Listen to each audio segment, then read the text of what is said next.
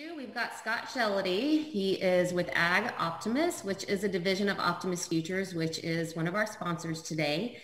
And he, Scott can frequently be seen wearing his trademark cow jacket, as you can see now. And he's on TV all over the place all the time. CNBC Europe, Bloomberg, CNN, BBC, Fox Business News. And we're super excited to have him to, here today to, to just let us fill us in on what's what's going on right now. So let's see, Wall Street, Main Street, and Nightmare on Elm Street. I love that title. He's going to talk about the potential efficacy and impact of a COVID-19 vaccine, the trajectory of the economy and investor climate, and the willingness of the Fed to backstop the market. Scott, welcome. Good to be here. Hopefully you can hear me. We can uh, do. We can certainly hear you. Hi, Scott. Hi, good morning or good afternoon, I guess, for you. I suppose you're in a different time zone, but uh, yeah, it's crazy times. So I can uh, I can share my screen if you'd like. Absolutely. Absolutely. Take it and, away. Uh, Scott, yes, we have people from all over the world here. So it is morning, afternoon, and evening. Yeah.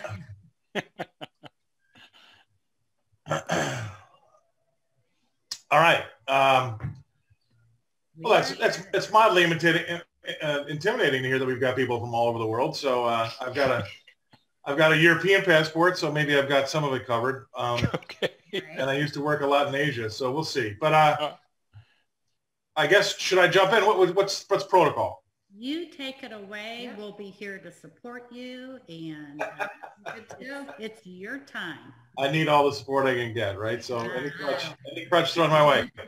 Well, yeah, thank you for having me. Uh, I'm, I'm always glad to do these types of things. Uh, I do I do quite a few of them, but most of them, you're right, I, I are in front of a live camera. And, and with what's been happening with uh, the pandemic for one, and then the election for two, there hasn't been a lot of uh, sleeping going on in the Shellady household as of late. So, uh, and it's been uh, one one heck of a crazy time. And I think that you know, for investors and traders alike, um, and even consumers for that sake, you know, this uh, these types of times you should embrace and you should be.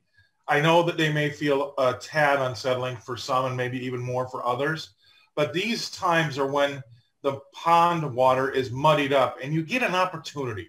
Uh, right. When, when, when things are, are status quo and locked in place, it's harder to break in whatever you're thinking of doing, whether you're a youngster trying to get in the business or you're a little older looking for some new strategies. I, I, would really say that you need to embrace these times because when that muddied pond water uh, gets that way, it gives you an opportunity to maybe do something that you wouldn't have had the opportunity to before. So I love it when I love chaos because it, it, opens the door up for things. And you know, my phone rings a lot more during chaos too, so it's it's a, a, a good thing uh, as long as it's uh, not bad chaos. And I know that we've had the pandemic, and unfortunately, there've been some lives lost there. Uh, but um, again, there's things that are going on. We talk about pandemic winners and losers. Um, however insensitive that may or may not be, but it's the truth. Uh, there are strategies out there for everybody to kind of keep in mind as we navigate the next two to three years. So I'll kick off and say, yeah, you, you, you said um, what you said with my, uh, my slide. I've got the, uh, the, the, disclaimer that they were very, very, very worried that I wouldn't put in there so everybody can now relax. Um, I come from a different time where that was, you know, I used to write in pencil on a card that didn't have a dupe on it. So now I'm in a place where I've got basically handcuffs and a ball and chain before I can do anything uh, or say anything online. But anyway, and I'll, I'll start off with the four things. Uh, you know, I'm old, right? I'm 32 years in the business, 16 of them in Europe. I, I was the, the managing director of the largest Japanese bank in London for four years.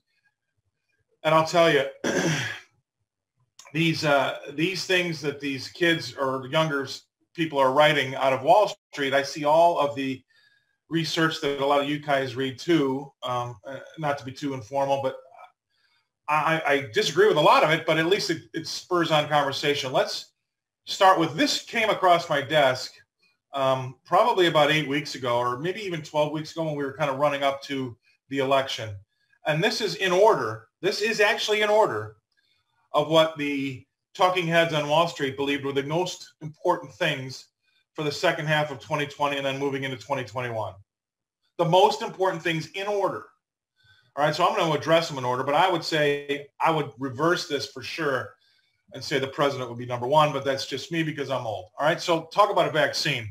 You know, uh, since I've written this, we've had some shocking, well, not shocking news, but good news about the efficacy of a new vaccine and, and uh, with a 90% um, success rate. Now, I'm not going to be too political on, on the, during this, this presentation, but you'll definitely know where I lean by what I have to say. And I, I'm just a little bit confused as to the euphoria that the market enjoyed on the back of the fact we got a, a vaccine that's 90% effective on a virus that's got a 99% survival rate. Okay. I didn't understand that. Um, I know that vaccines are going to make everybody feel better. And, and, to that matter, I would say this. We've got a, a Fed, which I will get to later, but I'll jump ahead for a second, that's trying to take care of this virus like it's a monetary issue. And it's not.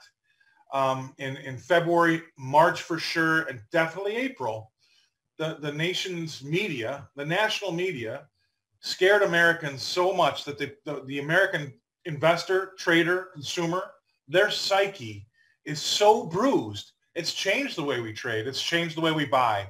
It's changed the way we live. And it doesn't necessarily have anything to do with facts because we've we've gone down and, and this is a this is a psychological issue, right? And I've talked about this ad nauseum for the last 18 years on television because the two things that the Fed worries about are inflation and deflation. And we never talk about deflation because no one wants to talk about a psychological issue, right? Inflation's easy, right? We raise interest rates, we slow the flow of money down, we try to get a handle on things like that. But when it comes to deflation, where we've got people not spending money, prices keep going down, and because they go down, people stop spending more money because it's going to be cheaper somewhere down the road. That's a psychological issue. And the Fed's got no tools for that. And that's why they're so afraid to talk about it. And that's why this is even much more difficult. It highlights the fact that this virus is a psychological issue. Yes, you can fight it with money, and we're going in debt incredibly so because of that. But it, it doesn't matter if I'm too afraid to come out of my house as a trader I'm not going to go get the million dollars in gold bars at the end of my drive because I don't want to die. There's such a psychological issue that's enmeshed and intertwined in this that in order for you to be successful next year, you're going to have to navigate that. Because back to going back to a vaccine, a vaccine is not the panacea that everybody thinks it's going to be. It's not the panacea that the markets thought it was going to be uh, when we had the news on Monday. It's going to be part of the solution, right? But it's not the solution because just because you have a vaccine out there, and I've got this on my slide, there, there's 62% of people 17 and under for the flu took the, the flu shot, right? And then 45% of the people older, they took it. So roughly 50% of the people out there take the flu shot. Are we going to have that kind of take up with, with the COVID vaccine? Is it going to be mandated? Are you going to have to have it now? They're, they're, they're just announced that maybe uh, theaters are going to have to have you show proof of a vaccine or a negative test to get in. And, and I want everybody to remember, I'm saying this because the survival rate is around 99%. Now, if you're over 70, it's 94.7%. 94.7%. I'll take those odds. But we have beaten everybody up so much so that they think that if you get it, you're going to die. And that's affected the economy adversely like you'll never believe. And to that point, if these if our electors, our, our legislatures, legislators, who we've now been listening to, uh, maybe even the new, uh, if it's Biden's administration, love them or hate them or love Trump or hate Trump, it doesn't matter. If we go down for another four to six weeks and another national lockdown, mark my words, it will put this economy back three to five years. It's might be, I think it's might be, you know, and we're already back two to three years. For every month we were down, I think it's going to take us four months to recover because of the psychological problem. People smarter than I, even though there's a vaccine out there, are still scared. People smarter than I still haven't gone to restaurants or left their houses yet. I know people have a much higher education than I do, and maybe I'm just dumb enough to not notice the danger. But that's what you're dealing with when it comes to investing. Now, I don't want to get too far off track, but it absolutely comes down on the side of a vaccine and what that's going to do for the markets. Now, we saw the knee-jerk reaction on Monday. So let's keep that in mind as we work through this because it's part of the solution, but it's not the solution. Now, these are just all it's, it's information and statistics uh, for the flu shot because that's the next best thing we have to uh, to, to go against. But I, I have to say that um, when you saw the, the, the floods in, in, New Orleans and they had to shut down schools there for a year, uh, the, the, the, the, guy that was in charge of uh, schools here in Chicago at the time was very uh, a, a key part of what was happening down in New Orleans when we had the, the hurricane that did what it did to New Orleans. I can't remember how long ago that was, but I do know that their schools were shut down. And he said the damage was the kids weren't a year behind; they were two to three years behind. And by doing that to our students here, that's going to be another thing that you're going to have to. So, and the reason I bring that up is there's opportunity in some of those online learning things, right? There's opportunity in other uh, tools and technologies that are going to give you as an investor um, some good returns. And I have to say again, before we went into this lockdown, e-commerce as a total of retail sales, right, was still only running at about, depending on which numbers you looked at, 12 to 15 percent of retail sales or uh, uh, online. Okay. And we, we now know, we all know how big Amazon is. We know, we all know how much Walmart's doing online. And to think that that's still only added up before the pandemic to 12 to 15% of total retail sales, that means that you still have an opportunity. Now, yes, it's gone up dramatically, I'm sure, but dramatically means maybe to 20%. What is that world going to look like when you're investing and trading when your retail sales are 50% e-commerce versus bricks and mortar? What's that going to look like? Because you may think that that horse has left the barn on some of those, as they say, I hate using the word pandemic winners because nobody really wins in a pandemic, but the, the, the media uses the term pandemic winners, those, those online things. Um, it's almost like we hit hyperspace. If you remember playing asteroids, you're probably all but too young for that. But um, we got to where we're going faster because of COVID.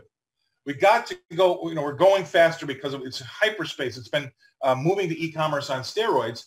And that means that don't think that that space is dead yet. Now, yes, when we see the vaccine come out and you saw what happened to Peloton and all those uh, pandemic winners, they automatically became pandemic losers because people might start going back to gyms. People might start going back to shops. People might start going back to restaurants. But I think that, that I think that those behaviors and this is where I like to come in because I'm not a normal finance person, I, as you can see by me wearing my pajamas, right? Um, I, I, think it's important to realize that uh, we, we have fundamentally changed the way we live and it's not going back to the way it was. It will go back to maybe some semblance of that, but that's another opportunity for you as an investor. How is that going to change? I, I still say, even though Peloton and, and all those indoor places, I, I mean, I know people are social and like to work out, but boy, it's going to be difficult to kind of get people back to the gym for the next three years once they've bought these bikes, right? So there's a long-term trade there, right? You can see that trend. I think that we've got an absolute disaster with our, our restaurants. I, I just, I, the way that things have been going as far as shutdowns and governors and our legislators, we're slowly but surely moving our main streets. I call it, you know, I, I write for the Northwest Indiana Times here in the editorial section on, on, on Sundays. One of my last articles was, was named, you know, we're, we're turning Main Street into a Bed, Bath, and a Burger. What, what business plan, what business owner can suffer being shut down for four, five, six, maybe even eight months? Well, it's only the big box retail stores and chain restaurants. So you're going to wipe out all the mom and pop shops on everybody's small main street in their hometown and it's just going to be Bed Bath and Beyond and Burger King, right? Because those are the only businesses that can handle that, and that's not a good thing. But that's something you have to keep in mind when you're investing in trading, right? Because they're going to be the winners, because they're going to be the only things that can stay alive. So not to get beat up too much on that, but I, I thought it was interesting to see what those guys on Wall Street uh, really believe that the efficacy of a vaccine was going to be the most important thing. And I don't think that's that's the case. That's why I like to bring it up. I think it's again it's part of the solution, but it's not the panacea that they think it's going to be. It's just going to be, um, uh, it's not the solution. All right. Now you can't see these because I think they're a little bit too small. I've, but this is going to be um, doses of flu vaccine distributed per 1,000 people. And the number one is Canada, but it's 350 people per thousand. That's 35%. So look at these numbers. 35% of Canadians got the flu vaccine. 25% of Americans. And look how bad, it, you know, so that's going to be a good example of the take up of, of, of COVID, unless it's mandated. Now, if you're like me, this whole contact tracing kind of makes me sick to my stomach a little bit. More Big Brother-ish. You know, they downloaded that COVID-19 thing onto everybody's phones this summer without you knowing about it. And if you have a phone and you're on Facebook, you're probably already being contact traced anyway. I mean, if that's if you really want to look at things. And before I get too upset, I have to remember that uh, in order to go to school as a little kid, we had to have our vaccines back then. Remember, so having a vaccine to go to a movie might seem like a stretch, but you know we've had to have vaccines to play sports and go to school. So it's just moving down that line. So in order, instead of being upset about it, I try to remind myself that it's been happening before. How we handled it before, that's how we're to handle it again. And away we go and take advantage of what the opportunity may be. You might be mad at uh, Aramark or some of these uh, cinema places because they may be doing that. But at the same time, it might give you an opportunity. You know, a lot of folks and traders will put their head in the sand uh, and if you keep your head up and keep uh, an eye about what's happening around you, it's going to give you a place to go instead of a place to hide.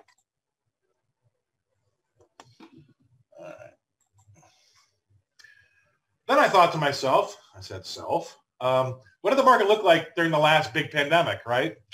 And I thought this was an interesting, uh, an interesting chart. This shows you what happened to the Dow Jones during the Spanish flu. Um, we didn't see that sell-off for for uh, the, the COVID-19. Um, it wasn't 33% for sure. But you can see by this, the reason why I put it up there is it, it gives you a good idea about what happened afterwards. And remember, uh, this was like uh, the 1920s and ultimately finally uh, we, we topped out. But I, I think it's nice to see that there is a history here. And the history says is that you can't close your eyes and buy anything but the market's not dead. Even if we have another sell-off, you know, do this quote unquote uh, second wave, which is irritating me. So um, second wave or no second wave, that's probably not going to be the case in the stock market, and that's why uh, I brought this up and put this chart up there. Now, again, it's a psychological problem. The government thinks you can cure a psychological problem with uh, with bailouts. That ain't happening it just delays the problem, right? It's like giving an alcoholic beer, he'll suddenly sober up and still the world still stinks, okay? That's not going to solve the issue. Um, and, I, and it's been highly politicized as well. I, that's why I, I put this. And then ultimately, you know, asking myself, does it really matter? Well, yeah, it does matter because as an investor, I have to have some sort of gauge as to where we are in this uh, economic revival, right? Now, whether you are on the left or you're on the right, I can. It's safe to say before the election, the economy was getting better, but at a slower rate. We were getting healthier at a slower rate, and now we're going to hand over that economy, maybe depending on what happens here, but let's assume it's Biden. We're going to hand over an economy that's been getting better at a slower rate to uh, an administration that has been talking about a 4.4 trillion dollar tax hike well, how is that going to affect my my investing, right? How, are uh, uh, profits, my, my uh, short-term capital gains from 20, 20% tax to 40% tax? How's that going to affect the market? How's that going to affect my strategy? how, how are, um, you know, the, the, the, all these taxes on uh, inheritance tax or corporate profits going up by 33% from 21% to 28%, right? That's, that's big. And so that could also be retarding growth. And I have to keep that in mind before I get too out over my skis and get really excited about a vaccine that a lot of people aren't going to take anyway. Might be mandated. We might see, you know, uh, riding in the streets because of this uh, contract tracing, but just be careful about getting too far out over your skis. That's really what the whole thing about this is. So growing at a slower uh, rate. Yeah, I say aircraft carrier bad news, and I'm not trying to be a Debbie Downer. I'm just trying to be realistic we haven't taken into consideration all the businesses that have gone out of business in these big cities, especially the ones that are run uh, by the Democrats that have seen a lot of the damage. For instance, New York, New Jersey, Chicago, LA, San Francisco. If I've been in the city of Chicago, I go in two to three times a week to do television there. The canyons are empty. Now, you know these big, tall skyscrapers that have a ton of shops on that mezzanine level, right? Or the uh, on the on the main level, and it'll be the key cutter guy, the laundry guy, the pizza guy, the tavern, the burger guy. They're all gone. I mean, they're gone, and and they're not coming back because of our own willingness to cut ourselves. Because think about these policies that we put in place, and this isn't a political speech, this is the way it is because it's going to have to be something as a trader, you need to think about where's the growth going to come from. But when you have these big CEOs, not just in Chicago, New York, and LA, they're all over the country saying, you don't have to come back to the office until next summer. Well, that means all those businesses that uh, are on the concierge level of these uh, big, big sky rises, they need those buildings to be 80% occupied, 90% occupied to make any money. They're gone, right? That's an unintended consequence of these CEOs telling their folks they don't have to come back. They're all shuttered in all the buildings I go to. Some of the very long-standing, um, very famous places that have just had to throw the towel in, and we're not taking that into consideration yet. So what I mean by this aircraft carrier of bad news still coming is that I think it's going to get worse before it gets better, regardless of this news we had on Monday about a vaccine hitting the market. I want it to get as I want it to get over with as soon as possible too. And I'm not being like again, I'm not being Debbie Downer, but I do definitely think that if you get too excited here and don't have your head above you and not in the sand, uh, if you're going to take into consideration governors not letting these building, not mandating that the buildings need to be full, and the CEOs telling their people to stay home. Number one. Number two, you fly into Chicago. I think 44 states are on the Chicago quarantine list. Same with New York. You have to give a DNA sample when you get off the plane in New York now, I believe. So are you going to be going to New York and Chicago anytime soon to do business, or are you going to have to do it over Zoom like this? Again, Zoom, great pandemic winner. But when we are finally fully open, I think you're going to find that there'll be a big sell-off in some of these things because people think, okay, it's all over, here we go. But that's not going to be the case because we're starting to change behaviors. And CEOs are also realizing, hey, maybe I don't have to be in the building. I know some very, very senior CEOs, very wealthy, that are starting to think, you know what, they've had great, they've had great production when their people are at home. Uh, they don't have to, you know, rent the space anymore in the Sears Tower. Um, and, and that it can actually, actually affect their bottom line uh, in a much better way than it would be if he mandated everybody coming back. Now, to date, I've only heard of one, maybe two large investment banks, JP Morgan being one, that have said that they'd like to see their people start to come back. But think about all the other buildings in New York and Chicago and London for, you know, London for that matter. I mean, London's gone back on a full lockdown now. And I can't imagine what that's going to do to their economy long term. And, you know, and I will put this in there as a side note, a, a small PSA. Um, I said this in March of this year. And if you want to go read anything about what lockdowns do to the economy and how to invest, there's a lot of things out there. I actually Googled it and found some things. But I'll also say, generally speaking, when you look at these white papers about what to do during a pandemic, the first thing they all say are lockdowns don't work. And on most of these papers were written not during a pandemic, so there wasn't this overreaction or uh, you know uh, scaredness in how these people were acting. And a lot of the things they say uh, make a lot of sense. So I do believe, again, it's a psychological issue. That's why the Fed struggles with that. That's why the government struggles with that. We're going to throw a lot of money at it from the government's point of view, and the Fed's going to try to do what they can do um, monetarily to see what we can do to, to, prop up the markets, and they will. Okay, um, but just have that in mind when you're investing because there's going to be this psychological uh, issue uh, with monetary and fiscal policy and how that shapes everything going forward. I'm talking too much now. So are we going to get a stimulus? Uh, fine. That's great. It doesn't, it's not going to matter. I mean, it's just going to extend the already, uh, what's going to happen anyway. It's just going to delay what's going to happen anyway. Sorry.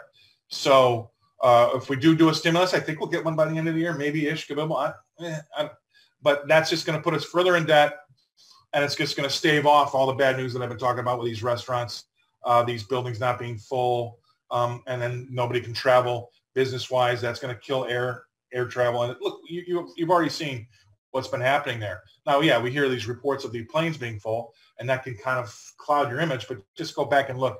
You know, if they used to have 20 flights between Scottsdale and or Scottsdale and uh, Chicago, now they only have five. So of course they're going to be full. So, but given the, you know, but on the plus side of that, that given the chance to fly and people want to, they do because they're all full. Believe me, I've been on.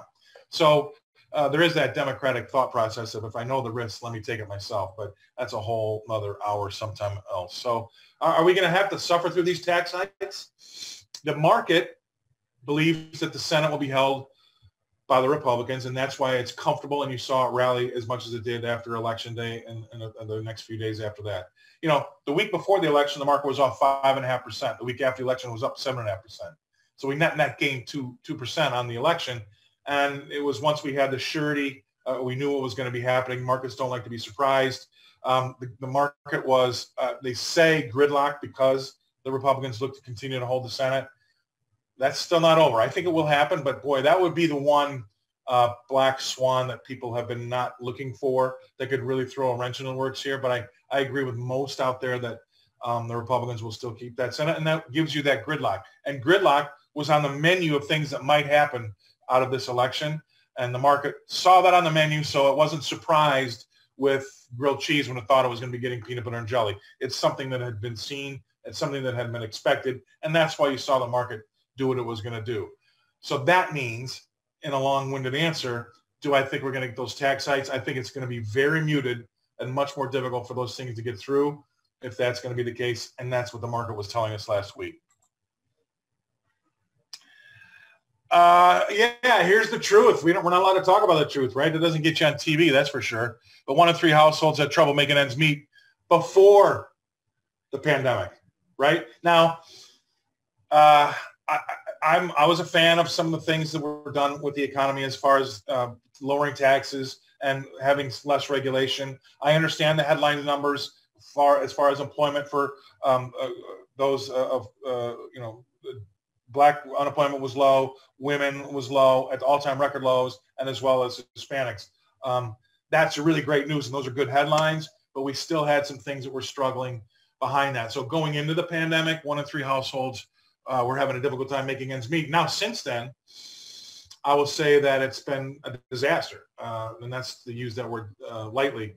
Um, I think at the end of August, uh, we had something like 60% of people uh, across the country miss their mortgage payments or only could pay a part of it. I mean, we had some really bad numbers as far as how these people are going to be living month to month. And that's why these stimulus things keep coming around, but it's only delaying the inevitable unless those restaurants are back to 100% capacity. And now while I'm on that, and this is a thing that I keep in mind when I invest, you have to use the left side of your brain sometimes. Um, and that's I do all the time. I was an art major, right? I wasn't a finance major until I broke my hands playing football, and then I became a finance major. So I look at things a little bit differently. And now that we've got, you know, have you ever heard of Stockholm syndrome? You probably have. And that's just when you fall in love with your captors, right? If you can Google it, but you basically fall in love with those people that are keeping you oppressed. Patty Hearst is, is, is a good example if you're old enough to remember that story. So we've got our governors, and that, you know, governors across the country, they, they, you know, Democrat and, and Republican, have, have locked us down, and that's basically putting us in the trunk of their car and locking the trunk of the car, right? And so when they finally open up the trunk, um, uh, we've jumped on them like a dog, excited to see them lick their faces and said, thank you, thank you for letting me out. And oh my gosh, I'm so lucky that you're allowing my business to be open up 25% of its of its customer base, which means 25% of its revenues, right? Or in essence, we should be acting like you uh, just let your wife out of the back of the trunk and she punches you in the face, right? Because that's what should be happening across the country, but it's not. We've got our business leaders have fallen for this Stockholm syndrome, and we can't uh, uh, we can't get through our, our heads that this is retarding growth. It's hurting the economy immensely, and again, it's going to slow down our economic engine. I think for three years we're not going to get back to normal, and if we lock down again, that's going to be extended. And so we've fallen in love with our captors, and we get angry. We're not angry. We get happy because we're allowed to be open to 25% of our revenue. So take this from the left side of the brain. You need you need your you need your business to be 90% of the revenues to start making money. Ask anybody that runs a small restaurant. You don't you don't have the option to, to give away 75% of your revenues and still stay afloat. There's just not nobody's got that in their business plan. Except for the governors think that that's an okay thing to do and everybody's so happy to be opened up they take it when it's absolutely impossible and there's no way that you can make money. So what that does again is that's my bad news, right? That aircraft carrier of bad news is when you only allow your, these these restaurants, gyms, uh, whatever it is, uh, open up to 25% of the revenues, that means they're just going to sink slower. They're going to go out of business slower. There's no way you can stay afloat. So for anybody to think that's a good thing, you're you're killing yourselves, kidding yourselves, and that's killing the economy. So I don't want to be again. I'm just telling up the truth. This is the way it is. Um, that's not a good thing. And invest like that's a bad thing because you'll come out ahead because of it. There's no way anybody can live on just 25% of their, rev- their revenues. So um, when we initially thought that was happiness, I still say that's not something to celebrate. Okay, that was too. That was a little bit Debbie Downer stuff. Again, this is a great example. I love charts because I can go off topic easier. um, but this will show you we're, we're getting better, but at a slowing rate, right? Let's show you the job losses in the beginning. Uh, but look at these numbers slowly but surely ticking lower. And that's where you have to say we better have the Senate because we can't afford to have these jobs numbers ticking lower and have taxes do what they might do under this new administration. Now, like again, whether you're from the left or from the right, it doesn't matter. It's just a numbers issue. And if you want to put $4.4 trillion tax hike plan in, in, in, in motion, when you're looking at something like this, it doesn't bode very well. And that's why I put it up there. It's an easy, easy chart to look at and go, huh, where is that line trending? Uh, and what do we want to do? We don't want to be putting anything in its way. We want to be, you know, we want to be wind beneath its wings. Uh, wage replacement and stimulus. This is a pretty good one too. Unemployment benefits replace about half of the lost wages for the typical worker. Uh, the wage replacement rate, which is this, or share of earnings replaced by unemployment benefits, ranges as low as 34% in Arizona, which means it's only replacing 34% of your lost earnings, to 65%, which is a high in Oregon. But there's no 100% on there, is there? I put that up there because if you go on to these unemployment benefits, you're getting between 35 and 65% of what you're used to. And if that's the type of money you have in your pocket, where, how, you know, where are you going to spend it? Well, even if they open up the restaurants or, or, or, or what have you to 25%, you don't have the power. Now, the consumer confidence levels have been okay. Um, and we do have a lot of money on the sidelines when it comes to investable cash. Depending on who you listen to, we have two and a half to four and a half trillion dollars waiting to come into the market. And if we go back to that chart I showed you about how the market reacted over the Spanish flu, that's probably the best example of why there's money out there waiting to get on board. And, and maybe they've missed, missed the boat already. Who knows? I don't think so. Uh, but um, this is also a great visual example about there's a lot of people out there that don't own stocks. A lot of people down there haven't benefited from their 401ks going up and their, their unemployment benefits are only replacing 35 to 65 percent of what their uh, regular earnings were. Um, this is another good one, wage, this wage study, the $600 uh, weekly unemployment boost uh, and how it hits the workforce. Um, and what that means is basically workers are much more fragile nowadays than they were before. Now we're talking about the next stimulus, what this number may be, uh, 600, 450, 300. Um, nobody knows about what the, I think we're going to get a stimulus plan, which would be good for the markets, right? That's going to be something that the markets will like to hear. But again, the best, I said this, I say this over and over and over again. Uh, the best stimulus package that we can roll out to the American people is to open up the economy 100%. But that falls on deaf ears because it makes too much sense. So we have to go back to these types of things where our legislatures may or may not be looking like they're going to be rescuing us. And once we get these uh, wage uh, these stimulus packages through, which would be great, short-term sugar high, and they allow us to open up our businesses again to 25%. Things people all think we're back uh, back in business and away we go. And that's why I want everybody watching. Remember, that's still only 25%. You're going to sink slower. Your unemployment benefits aren't replacing your earnings. We're going to have to open up at some point in time. Um, I, I just don't know um, how we're going to help uh, heal the psychological pain and I was on Fox two days ago and I got really called out because I did say it was going to be a three-year ordeal. And they asked why. I said, because I think that's how long it's going to take people to get over the psychological issue of the lockdown and the, the pandemic because they really, really were feeling like in, in March, April, and May, if you got the virus, you were going to die. And that's just patently not true.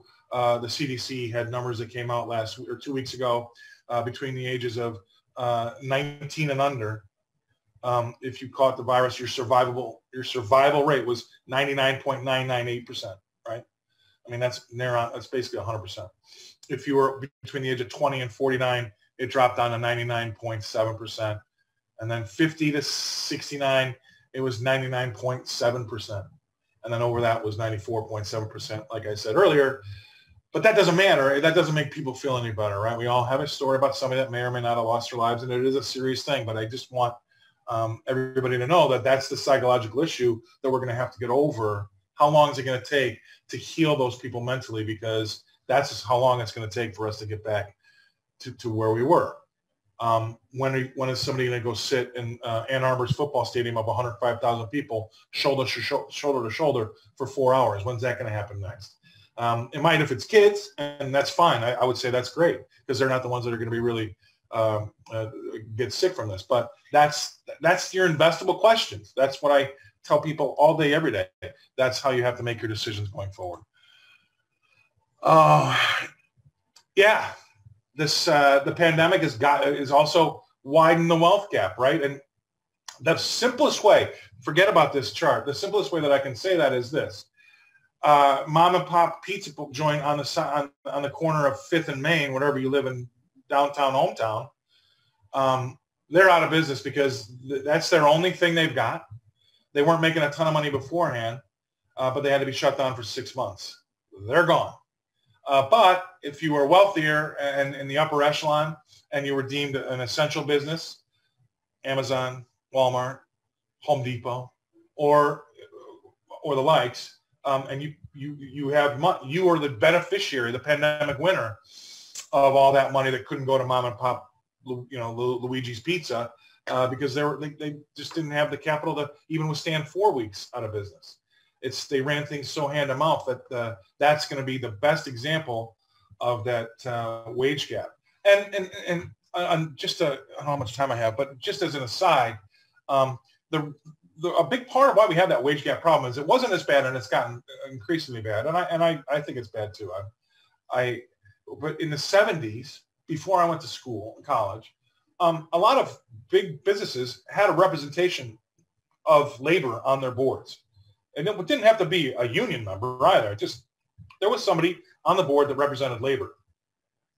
And in the 80s, when Jack Welch came along uh, and, and the likes of, of folks like him, where they began to think that they had a fiduciary responsibility to the owners of the business, which meant shareholders, um, that, that, that laborer wasn't an owner in the business, it was a worker in the business. And that's when things started to go a little haywire. So we took those labor represent, representatives off the boards um, and we sold our souls to the shareholders. And this is the problem that you get. That has exasperated, I think, the single biggest reason why you've seen that gap rise between uh, those that are running the business and those that are working at the business because they're just no longer represented like they used to be. Uh, and I think that's coming back a little bit. That's, that needs to be fixed. But this type of thing with a pandemic only exasperates and exaggerates those problems. Well, uh, this is uh, we all see the numbers. Jobless numbers came out today. Uh, I mean, they're they're getting better, but again, like I kicked off this this talk, uh, uh, I think that for every one month we were hurt, we're going to take three to four months to heal, and I think that we've solidly had a three to four, maybe five month hurt. Um, that could be as many as 15 months to heal, right? So that's a year and a half. Uh, that puts us out couple years after the pandemic, maybe three, and that goes right in line with what I'm thinking about what's going to take for this market to get back to normal. Now, what's that mean to, say, equities? I think that you could see equities run, right? Because we've got all that investable cash on the sidelines. And it's got to go someplace. Um, another little cheat sheet number for you. But in the last 35 years, we've, I don't know how many more billions of dollars that have come into our business for, um, for the purposes of investing. But I can tell you this, we've lost half of the investable products. What I mean by that is this. The amount of stocks you can invest in today is 50% of the amount it was in the 1970s. So if you have half as many things that that money can go to and five to 10 times as much money, it doesn't take a rocket scientist to figure out what might happen to those stock prices. Okay.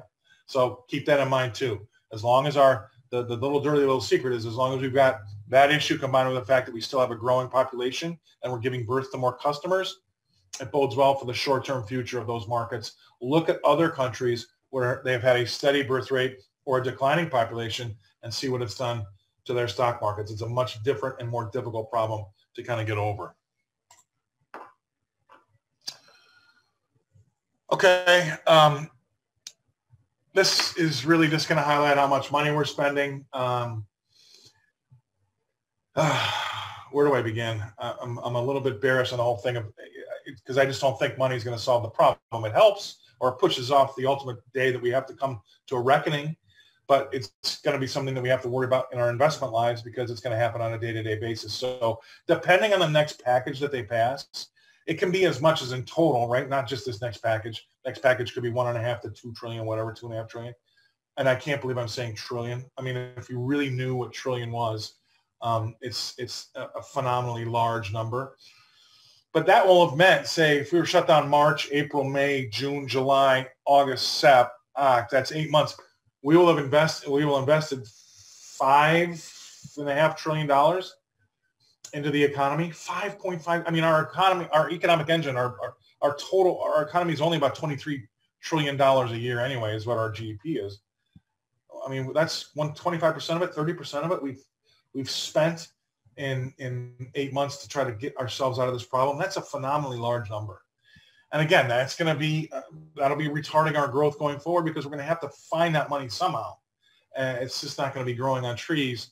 And they're talking about even more now, um, which you have to keep in mind is going to. That's why oh, this really needs to be said. That's why you've got those inflation hawks out there that are always still so worried about inflation, and I understand that. Um, and because of the amount of money that's been hitting our, our, our streets, and when, when I say that, I don't mean actually literally, literally hitting the streets, but when we have stimulus packages go out there, that money does somehow wend its way back to Wall Street. And a lot of times it's uh, investable cash, right? And so we always worry about inflation because it cheapens our dollars. It cheapens a lot of things around us. And if you've got an inflation rate of 3%, and you're only getting a 2% raise at, at work, you're losing a percent of your income every year. Everybody can understand that. But also, central banks like to see a little inflation because it makes us feel good, right? Your house goes up in value. Uh, everybody can see their house going up in value, even though they might not see that the house went up in value by 4%, but they lost 5% of wage growth on their pay packets, right? They don't care about that as much as. So inflation can be seen as a good thing. And because of that, since 2008, our government, whether it may be under Trump or, or Obama, have been they've been trying to stoke inflation. We've been trying to buy inflation. We've been trying to import inflation, uh, and that's what you're doing with the interest rates, right? Uh, and look in Europe, they've got negative year negative rate ten year yields, right? So you borrow money from the bank and you have to pay back less. How'd you like that deal? So these this idea that uh, we're always worried about inflation, I understand, but for 12 years we've been trying to buy it, steal it, borrow it, and we can't seem to get it. We can't. And so what we've been putting into our economic engine, uh, if you measure about what we're putting in versus what's coming out the exhaust, it doesn't add up. There's a leak somewhere that Janet Yellen couldn't find, uh, and and hopefully the new guy can find is what Powell can find because um, that's going to be the big issue. So I, I I have to pay respect to inflation, but up until now it's just not there. So can I continue to invest on maybe it's going to be around the corner, maybe it's going to be around the corner, maybe it's going to be around the corner and still sell bonds because that's going to be the case and bonds are going to tank because we're going to have to raise rates because we're going to have to really get out in front of this inflation. But that's when we've been trying to do that for 10 years and all bonds have been doing is going up, up, up and up. Now they've recently sold off as of late because they're getting excited and a little bit out over their skis because we've got a vaccine life's going to get back to normal and we're all going to go back out to restaurants that are going to be 100% capacity. You can sense my skepticism there, but that's why you've seen the recent move in some of these uh, bonds. But I still see, I still think that you'll still slowly but surely as this aircraft carrier of negative news works our way, bond yields will start to come in and bonds will start to rally in price. And then on top of it, you've got the Fed standing behind the market, basically going to do what it's going to do to make sure that we don't have any issues like we had in March or April. Um, it's going to be there, and they've pledged they're going to be there. It's just one of those things that, as I've gotten older, uh, if the Fed says it, that means they mean it. It's not worth fading. Uh, so you have to keep in mind the fact that uh, they're they're going to be there for the market, and you know that interest rates. If we get something that gets a little bit nervy out there, um, they're going to stand behind. They'll, they'll do what they got to do, whether it may be um, quantitative easing where they're buying a ton of bonds. Again, here we go with these bonds. Maybe the round because we're going to keep interest rates low to try to keep business going. That's something that you're going to have to keep in mind, and that's something why I have in my brain about, you know, we've got the Fed standing there saying that they're going to do what they're going to do. That it should be inflationary, but it's not because they're saying what they're going to do because things aren't good out there, right? A great example is every Thursday or every Wednesday. I can't remember when it comes out now. I should we get a read on what the 30-year mortgage rate is, right? And it's just been marching down in lockstep from three and a quarter to now I think it's 280 or just under. I think it just dipped, dipped below 280. Well, everybody celebrates that and thinks that's good for housing. Well, it could be, yeah. I can I can't argue that's it's bad for housing, but why is it coming down? It's coming down because things aren't that great out there right? So you can't have your cake and eat it too. That rate's coming in is because the U.S. economy is still struggling. And it's not coming in because things are going well. As soon as things go well, you're going to see that, that you know that rate balloon out to three, three and a half, and then that will help put a little bit of a cap on, on the housing prices and the housing market. But it's not it, it's not a reflection of how well the economies are doing. It's actually a reflection of how poorly the economy is doing and how might how much it might be short-term sugar water to a housing market that's been more bound for, for you know, 18 months. Um, here's some of the bullets um, that you can use. I'm getting close to my time, I guess, but some of the bullets the Fed can use, Fed funds rate, forward guidance, they talk their, you know, their mouths off. Um, security purchases, which is quantitative easing, I mentioned that. Uh, lending to securities firms. Um, there's all types of things. I won't bore you with this, but there's all types of things that they will march out to make sure that they've got steady equity prices and um, the, the, the, money continues to flow downhill and get in all the pockets of Americans so that we can try to get back to where we were uh, before this happened at the end of 2019. Um, these are more of those ideas. Uh,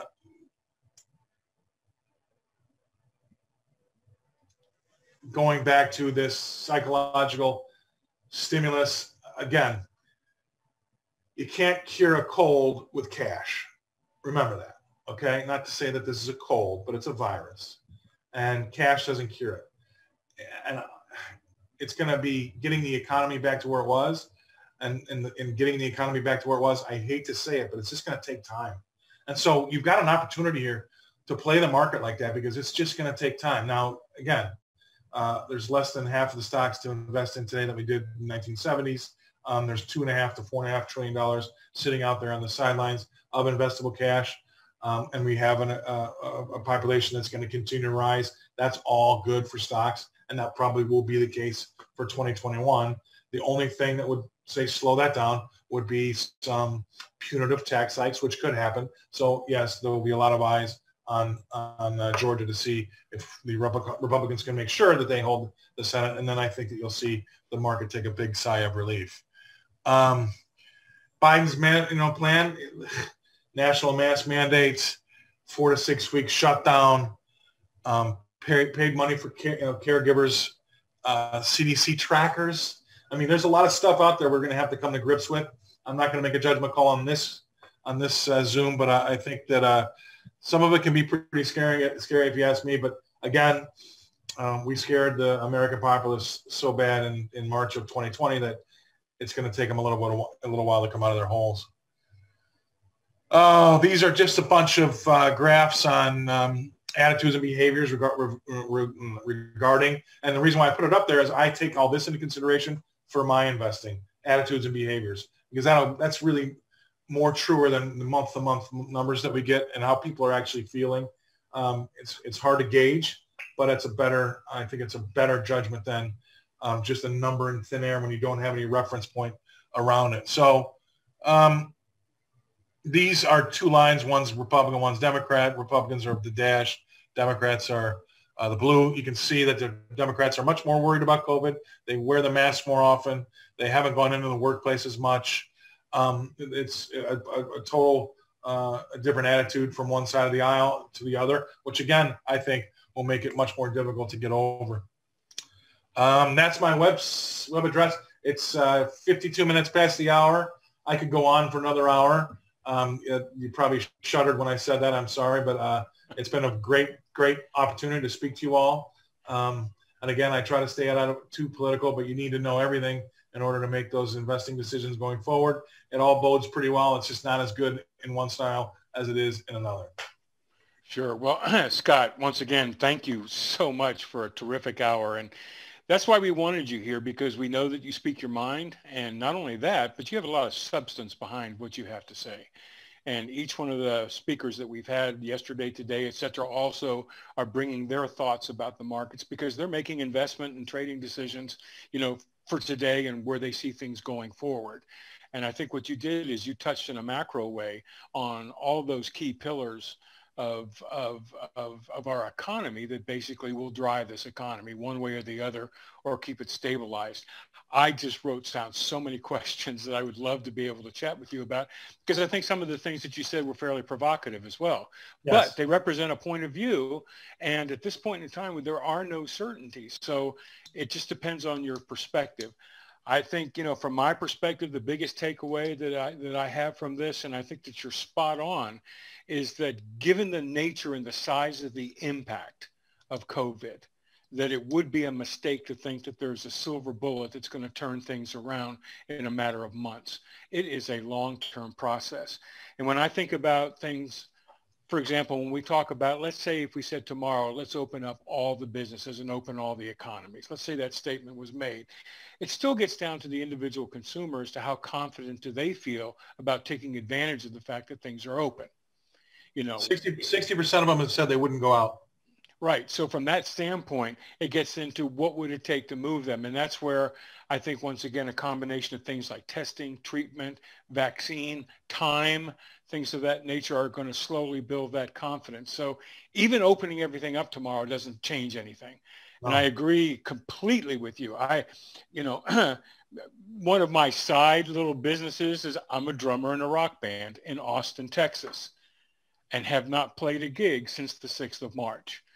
Austin is the live music capital of the United States, so we claim 280 spots open every day for live music. All have been shuttered. So that one little perspective is what's happened to bars, bands, booking agencies, lighting people, sound technicians, across the board, that whole subset of business has been erased. Many of these people very, very poorly equipped to do anything else from a skill standpoint. I don't, and I don't think that we've digested all of those numbers yet. I really don't.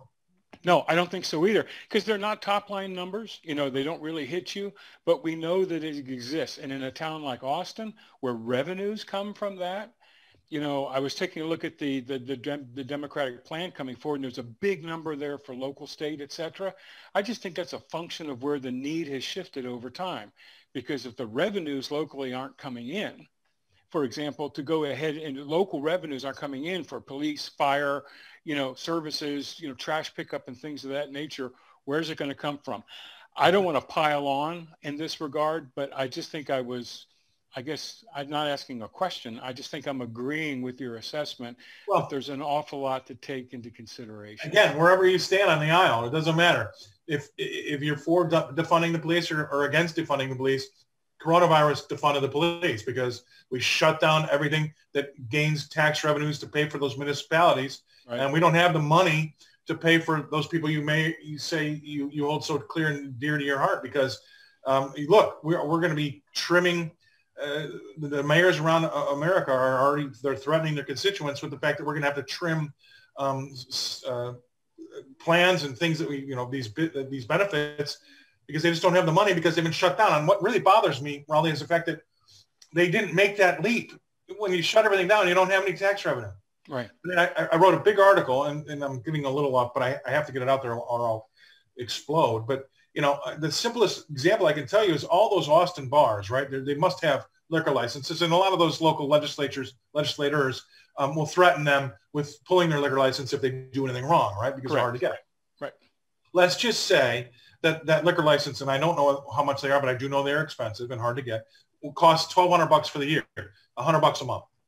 Now, if if you're shut down, government mandated shutdown for four months, I would be the question I'm asking is when am I going to get my four hundred bucks back? right. I mean, that to me makes because anything short of that is stealing.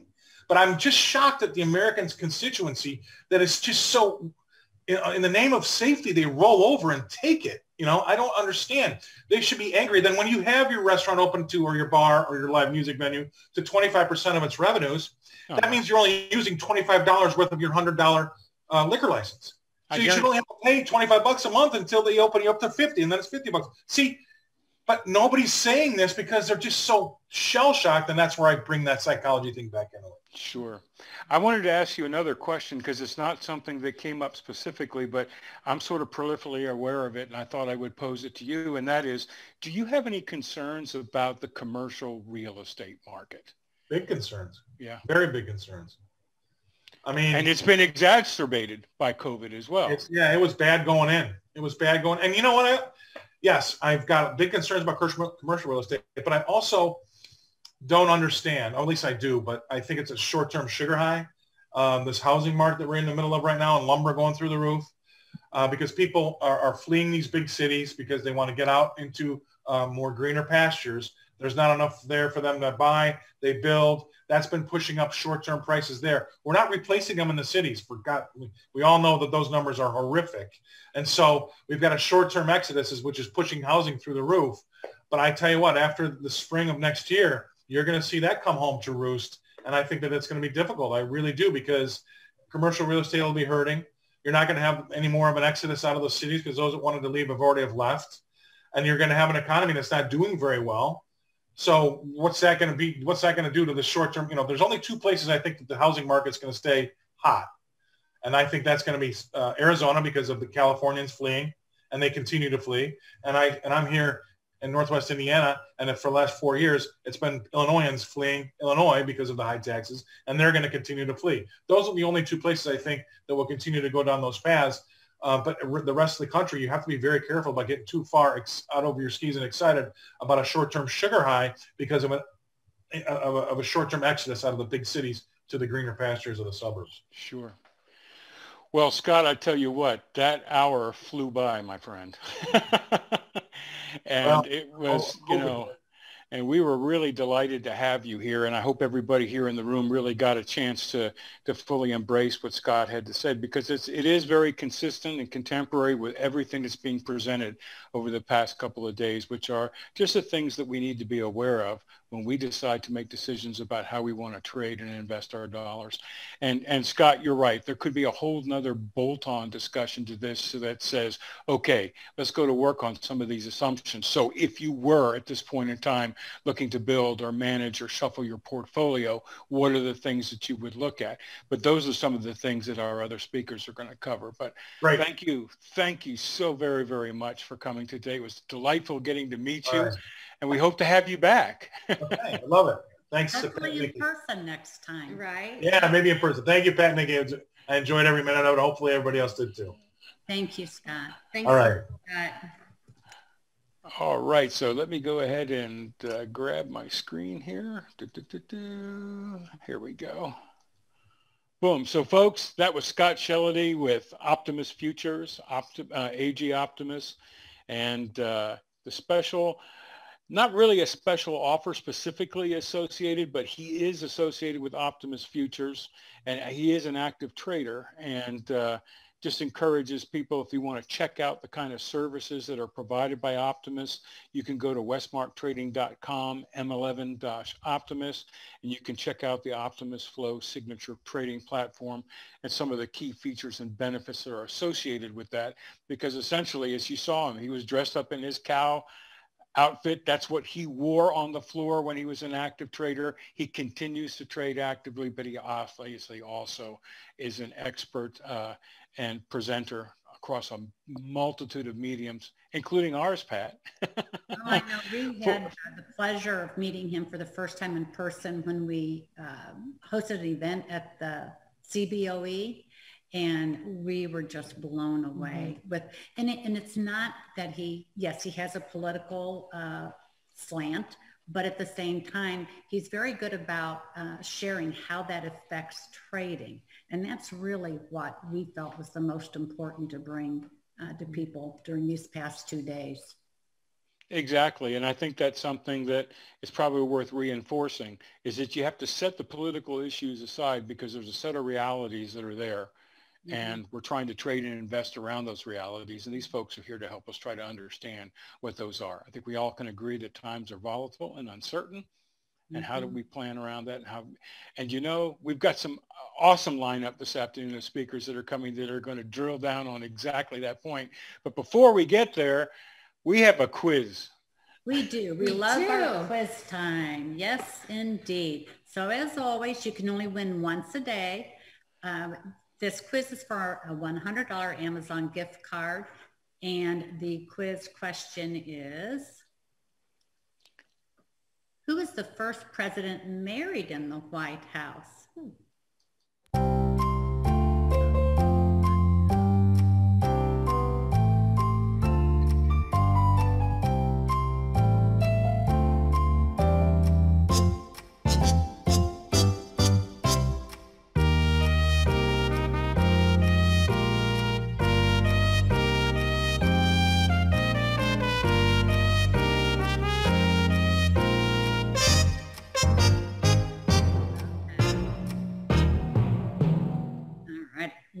Got it.